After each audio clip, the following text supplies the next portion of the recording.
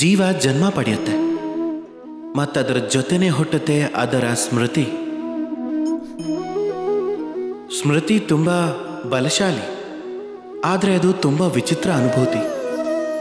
ಅದು ಸದಾ ನಿಮ್ಮ ಜೊತೆ ಇರುತ್ತೆ ನಿಮ್ಮ ಬದುಕಲ್ಲಿ ಏನೇನಾಗತ್ತೋ ಅದೆಲ್ಲ ಎಲ್ಲೋ ಒಂದು ಕಡೆ ಸಂಗ್ರಹ ಆಗಿರುತ್ತೆ. ಆದರೆ ಒಂದೊಂದ್ಸಲ ನಾವು ಮರ್ತು ಬಿಡ್ತೀವಿ ಸ್ಮೃತಿ ನಮ್ದೇ ಅನ್ನೋದನ್ನ. ಆದರೆ ಇದರಲ್ಲಿ ನಾವು ಏನು ಸಂಗ್ರಹ ಮಾಡ್ಕೋಬೇಕು, ಏನು ಅಳಸ ಹಾಕಬೇಕು ಅನ್ನೋದು ನಮ್ಮ ಕೈಯಲ್ಲೇ ಇರೋದು. ಈ ಜೀವನದಲ್ಲಿ ಏನು ಸಂಗ್ರಹ ಮಾಡಿಟ್ಕೋಬೇಕು? ಸುಖ. ಆನಂದದ ಕ್ಷಣಗಳು. ಆ ಕ್ಷಣ ನಮಗೆ ಯಾರೋ ಉಪಕಾರ ಮಾಡಿದ್ದು.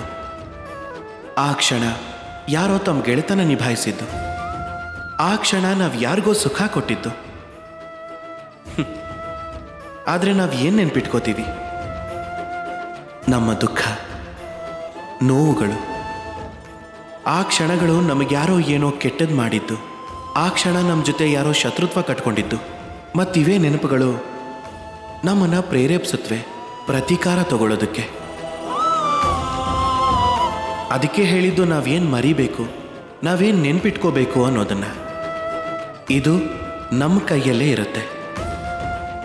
ಈ ಜೀವನದಲ್ಲಿ ಏನು ಬೇಕಾದರೂ ಮರ್ತುಬಿಡಿ, ಆದರೆ ಒಂದು ವಿಷಯ ನೆನಪಿಟ್ಕೊಳ್ಳಿ.